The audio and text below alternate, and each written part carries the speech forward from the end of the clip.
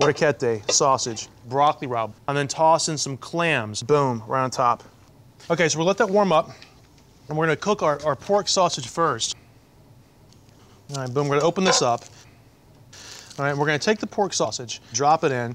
This is loose, what they call bulk sausage. If you find links, it's kind of cool. I, I like the shape of the loose bulk sausage. because What you do is kind of break it up in bits, and it's kind of form these kind of loose, free-form little meatballs and just kind of drop them in and let them brown. So we're gonna brown up all these guys, and then, like I said, we're gonna hit it with some chili flakes, so it's got some spice. We're gonna hit it with some garlic, because we're talking about Italy, and we're gonna hit it with some fresh thyme for a little bit of fresh, clean flavor. I like the uh, pork sausage in bulk because you can make sort of rough looking meatballs. I think they're gonna look really cool, kind of folded in right at the very last minute. Kind of rustic and really beautiful. Got some chopped up garlic, probably four or five cloves. We're gonna throw that right on top. Got a little bit of chili flake. This is traditionally a very spicy dish. Uh, it's really good to eat on a warm night. And then we're also gonna add some fresh thyme. Fresh thyme is a really good all-purpose herb for seafood. I think just really tastes delicious with this. It's a nice little herb bite. Kind of sweetens the dish out, gives it a little more character. Clams look really gorgeous. We're gonna take the clams, kind of put them right into, and then we're gonna take a wooden spoon, just kind of give them a nice little toss around. And make sure all the clams are really kind of coated with pork fat. So what we're gonna do is kind of steam the clams open. I got a little bit of Italian white wine, which is gonna be great. All right, some white wine just left over. I'm gonna pour that right on top, about two cups. And what we're gonna do is kind of steam the clams open. We got a lid, put it on top, say goodbye to the clams. More clams. Go right on top, they're gonna start to steam. And now with our uh, rolling, boiling water here, um, this is for our orecchiette, uh, our pasta that we're gonna cook today.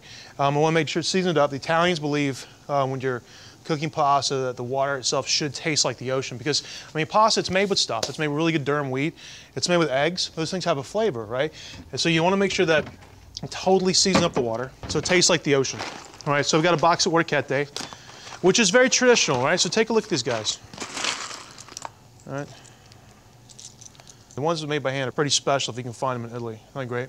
So these are dried. You can find them dried, you can find them fresh. I'm gonna throw them right into the water. Take that, just give it a good stir. All right. And then we are going to cook up our broccoli rabe. We're going to cook that in the same pot uh, with the orecchiette. I mean, why not? We got a pot of boiling water going. Why not just kind of kill two birds with one stone? So we got a nice big head of broccoli rabe here. Now, if you're a fan of this, you're an absolute fan of it. If you've never had it, you should try it. It's really interesting. We just want the leaves. The woody stems on the bottom are very bitter. So you're going to trim them down. And then we're gonna throw this right into the same pot as our orecchiette, and they'll cook up at the same time. Give it a good stir. Look at that. Uh, we got these beautiful small little pork meatballs uh, called polpette. All right, we're gonna fold these guys in, and then we're gonna hit it with a little bit of extra virgin olive oil and some fresh cracked pepper.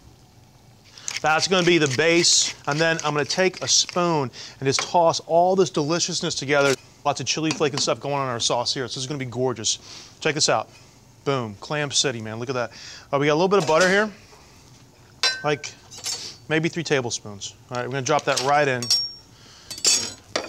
Take my spoon and just kind of give it a stir. I'm gonna crank up the temperature and hit with a little bit of extra virgin olive oil just to kind of let the sauce amalgamate a little bit, kind of come to like a nice kind of sticky glaze. All right, let that start to cook. Enough jabbering about it. Let's get it together.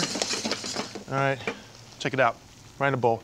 Orecchiette, sausage, broccoli rabe, boom, right on top. That's heaven right there, man. Okay, then we got our pasta with clams on top of it, all ready to go. Look at that. Oh my God.